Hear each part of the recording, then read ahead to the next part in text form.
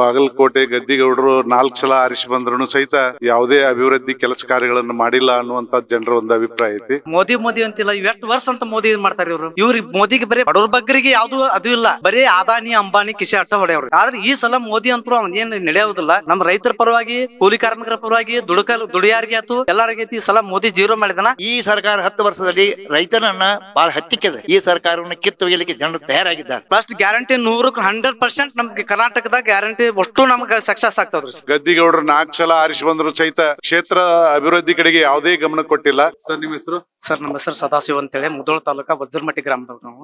ಈಗ ನೀವು ಏನ್ ಮೋದಿ ಅಂತೇಳಿ ನೀವು ಇದು ಮಾಡ್ತಿದ್ರಲ್ಲ? ನಾವೇನ್ ಮಾಡ್ತಿಲ್ಲ. ನೀವು ಮಾಡಲ್ಲ. ಅವ್ ಈ ನಮ್ಮ ಜನ. ಮೋದಿ ಮೋದಿ ಅಂತಿಲ್ಲ. ಇವ್ ಎಷ್ಟು ವರ್ಷ ಅಂತ ಮೋದಿ ಇದ್ ಮಾಡ್ತಾರ ಇವ್ರು. ಆ ಬಡಬಗರಿಗೆ ಒಂದ್ ಒಂದ್ ಸ್ವಲ್ಪ ಈಗ ದುಡಿಯಾವಲ್ರಿ ನಾ. ದಿವಸ ನಾನು ನೂರ್ ರೂಪಾಯಿ ಒಯ್ಲಾರ್ದ ಇವ್ರ ರೈತಕ್ ನಾನು ಹೊಡಿ ತುಂಬಂಗಿಲ್ಲ. ಆ ಅದೇ ನಮ್ ಸಿದ್ದರಾಮಯ್ಯ. ಬಡರು ದುಡ್ಕೊಂಡ್ ತಿನ್ನೋರ್ಗೆ ಪ್ರತಿ ತಿಂಗಳಿಗೆ ಐದು ಕೆಜಿ ಅಕ್ಕಿ ಕೊಡ್ತಾ ಇದ್ದಾನೆ. ಆ ಬಡರು ಐದು ಕೆಜಿ ಅಕ್ಕಿ ತಿನ್ಕೋತ ಅವ್ರ ಬಡ್ರು ಹೆಣ್ಮಕ್ಳು ತುಂಬ್ಕೊತಾ ಇದಾರೆ. ಹೊಳಮಡಿ ಸಾರಿಗೆ ಸಂಸ್ಥೆದೊಳಗೆ ಹೆಣ್ಮಕ್ಳು ಫ್ರೀ ಆಡ್ಲಿಕ್ಕೆ ಐದು ವರ್ಷ ಬಿಟ್ಟಿದ್ದಾನೆ. ಇವ್ರಿಗೆ ಮೋದಿಗೆ ಬರೀ ಬಡವ್ರ ಬಗ್ಗರಿಗೆ ಯಾವ್ದು ಅದು ಇಲ್ಲ. ಬರೀ ಅದಾನಿ, ಅಂಬಾನಿ ಕಿಸೆ ಅಟ್ಟ ಹೊಡೆಯವ್ರಿ. ಉಳಿಗಿದ ನಮ್ಮಂತ ಬಡವ್ರಿಗೆ ಬಗ್ಗರಿಗೆ ಏನು ಮಾಡಕ್ ಆಗಲ್ಲ ಮೋದಿ ಅಂತೇಳಿ ನಮ್ ಯುವಕರೇನ್ ನೀವು ತಿಳಿ ಹೇಳ್ತಿರಲ್ಲ ಮೋದಿಗೆ ಮೋದಿಗೆ ಒಂದ್ ಸ್ವಲ್ಪ ಈ ಸಲ ಮೊದಲಿನ ಸಲ ಏನ್ ಆಗ್ಯದ ಈಗ? ಆದ್ರೆ ಈ ಸಲ ಮೋದಿ ಅಂತರೂ ಅವನ್ ಏನ್ ನಡೆಯೋದಿಲ್ಲ. ನಮ್ ಉತ್, ನಮ್ ಕರ್ನಾಟಕದಾಗಂತೂ ಹದಿನೈದರಿಂದ ಇಪ್ಪತ್ತಂತರೂ ಸೀಟ್ ಸಂಸದರ ಆಯ್ಕೆ ಆಗ್ತಾರಂತ ನನ್ನ ಭಾವನೆ ಇದೆ ಆದ ಕಾರಣ ನಾವು ರೈತರಿಗೆ ಹೇಳ್ತೀವಿ, ರೈತರದಂತೂ ಏನು ಕೆಲಸ ಮಾಡಿಲ್ಲ. ರೈತರದಂತೂ ಜೀರೋ. ಎರಡ್ ನೂರ ಐವತ್ತು ರೂಪಾಯಿ ರಸಗೊಬ್ಬರ ಕೊಡ್ತಿದ್ರು, ಹತ್ತ ದುಪ್ಪಟ್ಟ ಮಾಡಿದ್ರು. ಮತ್ ನಮ್ ಕರ್ನಾಟಕದಾಗ ನಮ್ಮ Siddaramaiah Siddaramaiah G S T ಅಂತ ನಮ್ ಕ್ಯಾನ್ಸಲ್ ಮಾಡ್ಬೇಕು ಜಿ ಎಸ್ ಟಿ ರೇಟ್ ಇದ್ದಿದ್ದಿಲ್ಲ. ಮೋದಿ ಸರ್ಕಾರ ಬಂದ ಮ್ಯಾಗ ಜಿ ಎಸ್ ಟಿ ಹೆಚ್ಚು ಮಾಡಿದ್ರಿ ಅವ್ರ. ಈಗ ನಾವೊಂದು ಹೋಟೆಲ್ದಾಗ ನಮ್ ಕಪ್ ಚಾ ಕುಡಿಯಕ್ ಹೋಗ್ಬೇಕಾರೆ ಹತ್ತು ರೂಪಾಯಿ ಇದ್ದದ್ರಾಗ ಎರಡು ರೂಪಾಯಿನ ಜಿ ಎಸ್ ಟಿ ಕಟ್ಟಿ ಚಾ ಕುಡಿಬೇಕು. ಈಗ G S T G S T ಮಾಡಿದ್ ಮೋದಿ ನಾವೊಬ್ಬ ಡ್ರೈವರ್ ಚಾಲಕ ನಾನು, ಹೋಟೆಲ್ನಾಗ ಹೋದ್ರೆ ಒಂದು ಕಪ್ ಚಾ ಕುಡಿಬೇಕಾರೆ ಹತ್ತು ರೂಪಾಯಿ ಕೊಟ್ಟು ಚಾ ಕುಡಿದ್ರೆ ಅದಕ್ಕೆ ಎರಡು ರೂಪಾಯಿ ಜಿ ಎಸ್ ಟಿನ ಹಾಕಿ ನಾ ಕೊಡ್ಬೇಕಲ್ಲಿ ಮತ್ತೆ ಇವ್ರು ಜಿ ಎಸ್ ಟಿ ಏನ್ ಮಾಡ್ತಾನಂದ್ರೆ ನಮ್ಮಂತ ದುಡ್ಕೊಂಡ್ ತಿನ್ನಾರ ನಾವ್ ಎಲ್ಲಿ ಹೋಗ್ಬೇಕ್ರಿ? ಆದ ಕಾರಣಕ್ಕ ಈ ಸಲ ಮೋದಿ ಯಾರು ಇದನ್ನ ಮಾಡಕ್ ಹೋಗ್ಬೇಡ್ರಿ ನಮ್ಮ ರೈತರ ಪರವಾಗಿ ಕೂಲಿ ಕಾರ್ಮಿಕರ ಪರವಾಗಿ ದುಡುಕಲು ದುಡಿಯಾರಿಗೆ ಆತು ಎಲ್ಲರಿಗೆ ಈ ಸಲ ಮೋದಿ ಜೀರೋ ಮಾಡಿದನ ಆ ತರ ಆಗಬಾರ್ದಂತ ಉದ್ದೇಶದಿಂದ ನಾ ದಯವಿಟ್ಟು ನಾ ಹೇಳ್ಬೇಕಂತೇಳಿ ಇಚ್ಛಾಯಿಸಿ ನಿಮ್ಗೆ ಹೇಳ್ತೀನಿ ಗ್ಯಾರಂಟಿ ಯೋಜನೆಗಳೆಲ್ಲ ಎಷ್ಟು ಪ್ಲಸ್ ಆಗುತ್ತೆ? ಫಸ್ಟ್ ಗ್ಯಾರಂಟಿ ನೂರಕ್ಕೆ ಹಂಡ್ರೆಡ್ ಪರ್ಸೆಂಟ್ ನಮ್ಗೆ ಕರ್ನಾಟಕದಾಗ ಗ್ಯಾರಂಟಿ ಅಷ್ಟು ನಮ್ಗೆ ಸಕ್ಸಸ್ ಆಗ್ತದ್ರಿ ಸಕ್ಸಸ್ ಐದಕ್ಕೆ ಕೈದು ಪ್ರತಿ ಹಳ್ಳಿ ಹೆಣ್ಮಕ್ಳು ಕೇಳ್ರಿ ನಾವು ಕಾಂಗ್ರೆಸ್ ಮೋದಿ ಬಿಟ್ರೆ ಯಾರಿಗೆ ಹಾಕಲ್ಲ ನಾವು ಕಾಂಗ್ರೆಸ್ಗೆ ಹಾಕ್ತಿವಿ. ಹೇಳ್ತಾರೆ. ಪ್ರತಿ ಬಸ್ಸಿನಲ್ಲಿ ಹೋರಿ ನೀವು. ನಾವು ಸಿದ್ದರಾಮಯ್ಯ ನಮ್ಗೆ ಅವ್ನ ಅನ್ನ ಉಂತೀವಿ ಅವ್ರನ್ನ ಹಾಕ್ತಿವಿ ಅಂತ ಹೇಳಿ ಕೆಸ ಶಪಥ ಮಾಡ್ಯಾರ ಅವ್ರಿ.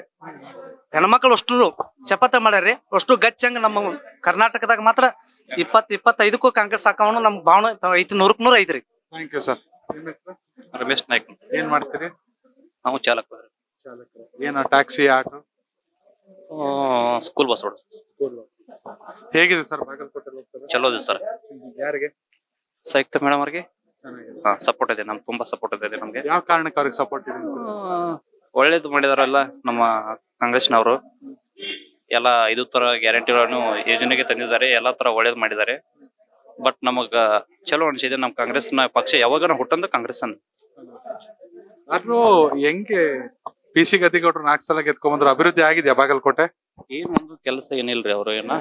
ಅಭಿವೃದ್ಧಿ ಅಂತ ಏನಂತ ಅವ್ರೇನ ನಮ್ಗ ಅಷ್ಟೊಂದು ಪರಿಚಯ ಅಂತ ಹೇಳಿ. ಹೀಗಾಗಿ ಕ- ಸಂಯುಕ್ತ ಪಾಟೀಲ್ ಹಾ ಫುಲ್ ತುಂಬಾ ಸಪೋರ್ಟ್ ಆಗಿದೆ ಥ್ಯಾಂಕ್ ಯು ಥ್ಯಾಂಕ್ ಯು ಮಾನ್ಯ ನಮ್ಮ ದೇಶದ ಪ್ರಧಾನ ಮಂತ್ರಿಗಳು ದೇಶದ ರೈತರ ಆದಾಯವನ್ನ ದ್ವಿಗುಣ ಮಾಡ್ತ ಅಂತ ಹೇಳ್ತಿದ್ದಾರ.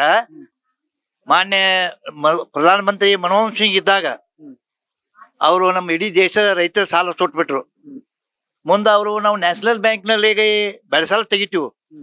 ಒಂದು ಲಕ್ಷಕ್ಕೆ ಹನ್ನೆರಡು ಸಾವಿರ ರೂಪಾಯಿ ಬಡ್ಡಿ ಇದೆ ಅದನ್ನ ಅವರು ನಾಲ್ಕು ಸಾವಿರ ರೂಪಾಯಿ ತುಂಬುವಂಗ್ ಮಾಡಿದ್ರು.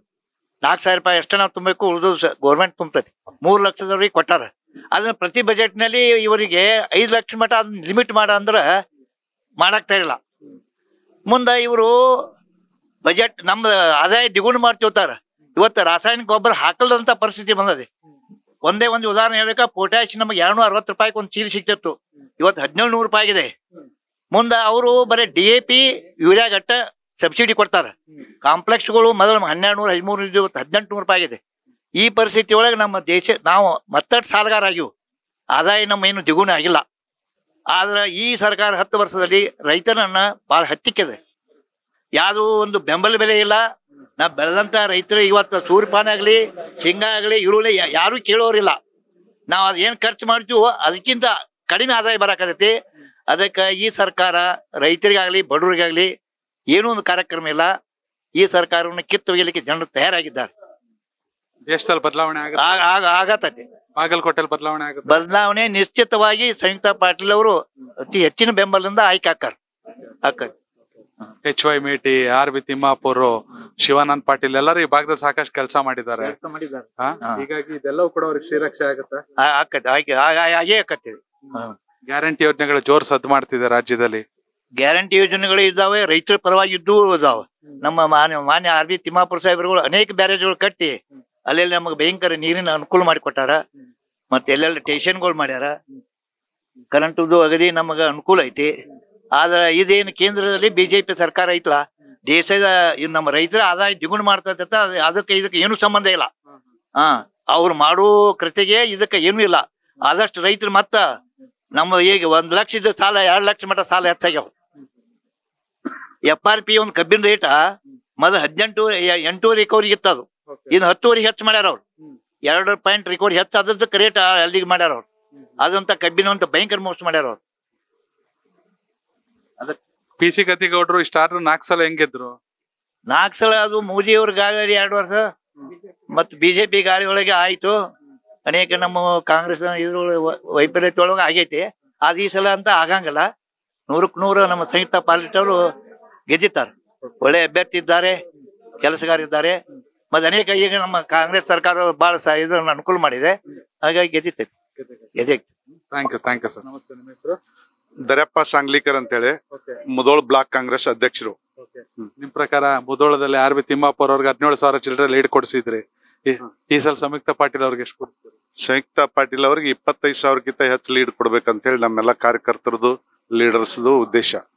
ಆ ತರ ಪ್ರಚಾರನಲ್ಲೇ ಇದೀವಿ ನಾವು. ಹೇಗಿದೆ ಸರ್ ಒಟ್ಟಾರೆ ಬಾಗಲಕೋಟೆ ಈ ಸಲ? ಗದ್ದಿಗೌಡರು ಹೊಸ ಸಂಯುಕ್ತ ಪಾಟೀಲ್ ಬಾಗಲಕೋಟೆ ಗದ್ದಿಗೌಡರು ನಾಲ್ಕು ಸಲ ಆರಿಸಿ ಬಂದ್ರು ಸಹಿತ ಯಾವುದೇ ಅಭಿವೃದ್ಧಿ ಕೆಲಸ ಕಾರ್ಯಗಳನ್ನು ಮಾಡಿಲ್ಲ ಅನ್ನುವಂತ ಜನರ ಒಂದು ಅಭಿಪ್ರಾಯ ಐತಿ. ಅದರ ನಂತರದಲ್ಲಿ ನಮ್ಮ ಚುನ ವಿಧಾನಸಭೆ ಚುನಾವಣೆ ಪೂರ್ವದಲ್ಲಿ ನಮ್ಮ ಕಾಂಗ್ರೆಸ್ ಪಕ್ಷದ ನಾಯಕರು ಗ್ಯಾರಂಟಿಗಳನ್ನು ಗ್ಯಾರಂಟಿಗಳನ್ನ ಕಾರ್ಡ್ಗಳನ್ನು ಕೊಟ್ಟಿದ್ದೆವು ಭರವಸೆಗಳನ್ನು ಕೊಟ್ಟಿದ್ದೆವು ಅಧಿಕಾರಕ್ಕೆ ಬಂದ ನಂತರ ಅದನ್ನೆಲ್ಲ ಪ್ರಾಮಾಣಿಕವಾಗಿ ಈಡೇರಿಸ್ಯಾರ. ಜನರಿಗೆ ಅದು ಒಂದು ಒಳ್ಳೆಯ ಸದುಪಯೋಗ ಆಗೈತಿ ಆ ಕಾರಣಕ್ಕಾಗಿ ಮತದಾರರು ಯಾವತ್ತು ಕಾಂಗ್ರೆಸ್ ಪಕ್ಷದ ನಾಯಕರನ್ನ ಕೈ ಬಿಡುದಿಲ್ಲ ಅನ್ನುವಂತ ಒಂದು ವಿಶ್ವಾಸ ನಂಬಿಕೆ ನಮಗೈತಿ. ಜೊತೆಗೆ ರಾಜ್ಯದಲ್ಲಿ ಕಾಂಗ್ರೆಸ್ ಸರ್ಕಾರ ಗ್ಯಾರಂಟಿ ಯೋಜನೆ ಇದು ಎಷ್ಟು ಮಟ್ಟಿಗೆ ನಿಮಗೆ ಶಕ್ತಿ ತುಂಬುತ್ತೆ? ಗ್ಯಾರಂಟಿ ಯೋಜನೆಗಳು ಎಷ್ಟರ ಮಟ್ಟಿಗೆ ಶಕ್ತಿ ತುಂಬುತ್ತೈತಿ ಅನ್ನೋಕ್ಕಿಂತನೂ ಅದು ಬಡ ಜನರಿಗೆ ಎಷ್ಟು ಉಪಕಾರ ಆಗೈತಿ ಅನ್ನೋದ್ರ ಮೇಲೆ ನಮ್ಮ ಗ್ಯಾರಂಟಿ ಯೋಜನೆಗಳ ಖಾತ್ರಿಯನ್ನು ನಾವು ಜನರಿಗೆ ಇನ್ನೂ ಮನದಟ್ಟಾಗುವ ರೀತಿಯಲ್ಲಿ ಹೇಳಲಿಕ್ಕೆ ಸಾಧ್ಯ ಐತಿ ಅನ್ನುವಂತ ವಿಚಾರ ನಂದು ಪಿ ಸಿ ಗದ್ದಿಗೌಡರು ನಾಲ್ಕು ಸಲ ಗೆದ್ರು ಈ ಸಲ ಬದಲಾವಣೆ ಇತಿಹಾಸ ಬದಲಾಗುತ್ತೆ. ಜನ ಎಷ್ಟ ದಿವಸ ಆದ್ರೂ ಕೊನೆಗೆ ಒಂದ್ ದಿವ್ಸ ಬದಲಾವಣೆ ಅನ್ನೋದು ಇದ್ದೇ ಇರ್ತೈತಿ. ಆ ಹಂತ ಇವತ್ ಬಂದೈತಿ ಅನ್ನುವಂತ ಒಂದು ವಿಚಾರ ಎಲ್ಲ ನಾಯಕರ ಮತ್ತು ಮತದಾರರ ಒಗ್ಗಟ್ಟಿನಿಂದ ನಮಗ್ ಗೆಲುವು ಸಾಧ್ಯ ಅನ್ನುವಂತ ಮಾತನ್ನ ನಾವು ಎದೆ ತಟ್ಟಿ ಹೇಳ್ಬಹುದು ಇವಾಗ. ವೀಣಾ ಕಾಶಪ್ಪನವ್ರು ಒಟ್ಟಾಗಿ ಸಾಕ್ತಿದ್ದಾರೆ ವೀಣಾ ಕಾಶ್ಯಪ್ನವರಾತು ಅವರ ಪತಿಯವರಾದ ವಿಜಯನಂದ್ ಕಾಶ್ಯಪ್ರವರಾತು ಅವರು ಪ್ರಚಾರದ ನೇತೃತ್ವವನ್ನ ವಹಿಸಿಕೊಂಡು ಆ ತಮ್ಮ ಕ್ಷೇತ್ರದ ಜೊತೆಗೆ ಇನ್ನುಳಿದ ಎಲ್ಲ ಕ್ಷೇತ್ರಗಳಲ್ಲಿ ಸಹಿತ ಮಂಚೂನಿ ಪ್ರಚಾರ ನಾಯಕರಾಗಿ ಅವರು ಪ್ರಚಾರ ಮಾಡ್ತಾ ಇದ್ದಾರೆ. ಎಷ್ಟು ಲೀಡಲ್ಲಿ ಗೆಲ್ಬಹುದು ಅಂತ ನಿಮ್ಮ ಅಭಿಪ್ರಾಯ?